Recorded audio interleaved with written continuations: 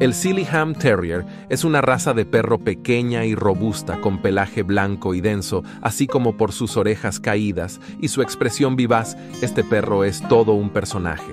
Originalmente criado como perro de trabajo para cazar animales pequeños, también es un compañero leal y afectuoso en el hogar. Aunque es pequeño, tiene una personalidad valiente y enérgica.